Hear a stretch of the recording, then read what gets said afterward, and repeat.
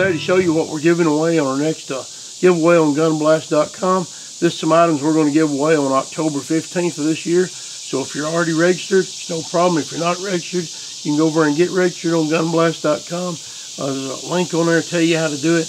If you're already registered in the last year, you don't have to do anything. You're already signed up for it. This next giveaway is some nice stuff. It's uh, courtesy of uh, Eberlestock and of Leupold. And I'll show you what we got here. This first one is a, a backpack. It's kind of a small day pack uh, for going out on a little trek for a while. It's got a hydration system built into it.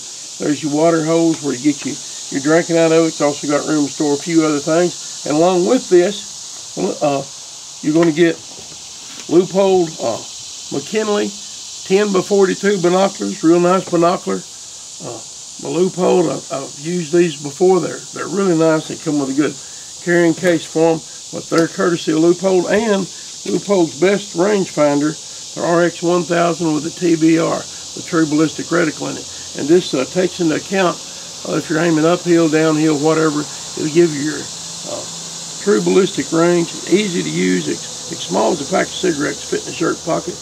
Really lightweight. This is what I use myself. You push the button as you look through there, and it gives you the, the distance to your target. Now, it'll go out to a thousand yards, but on a soft target like a deer or something like that, you know, you're looking at, at less than that, maybe 500 yards or so. But on a hard target, you pick something out, out there with good reflection on it, it'll shoot out that far. Anyway, all that's from Leupold. Now, the other giveaway is just like it, but your backpack's going to be different. This has got a, a larger uh, backpack for going out in the woods for a few days, whatever you want to. It's got a, a heavy frame in it to support it, aluminum frame, but it's still lightweight Carries a lot of stuff, a lot of different pouches here. A little day pack in front and the harness to go over your shoulders. It's a real nice uh, backpack from Eberlestock. And along with it, you're also going to get the 10 by 50 binocular and the RX 1000 rangefinder. Um, the only difference, we're going to have two winners in this giveaway.